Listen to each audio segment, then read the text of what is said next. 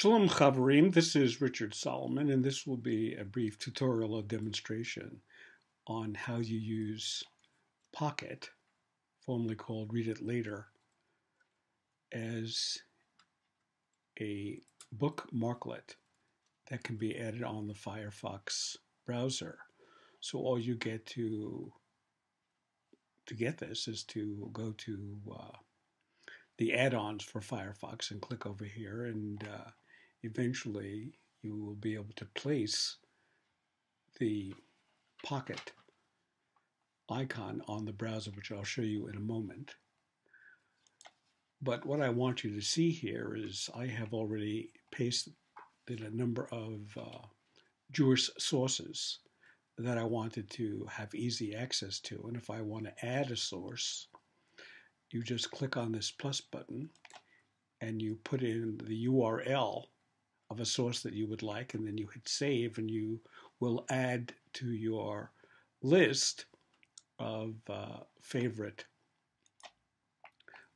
um, websites, particularly websites for your Judaic instruction class or something you could train your colleagues uh, to utilize as well. Now you have a lot of different choices. You can share all items, you can share articles. Um, okay, there's an article there. There, you can share videos. Uh, you can share uh, images. I didn't have a particular image that I wanted to uh, share, but um, here are all the items. Okay, and you just click on these items, and that will take you to the place. But more interestingly, instead of simply uh, well, I'll just show you. I click over here and it'll take you to these uh, images of uh, Israel. But what's more interesting is to look at the book marklet over here, okay? And we'll click on this. And that will take you to different kinds of documents. Uh, here, this one, for example, is a movie.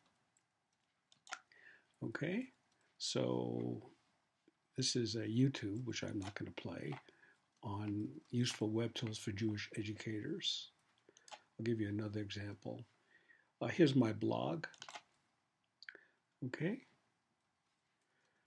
This is the one that I had written on Friday, December 6th. So basically, what we have is an explanation that if you want to add a bookmarklet onto your Firefox browser, you go to this website. You want to see a list of the various items you can have for either yourself as a professional Jewish educator or your students can create, or you can do this as a set of websites you want your students to study. That's available. And you can share a variety of different kinds of things. You can share articles, videos, and images. And uh, thank you so much.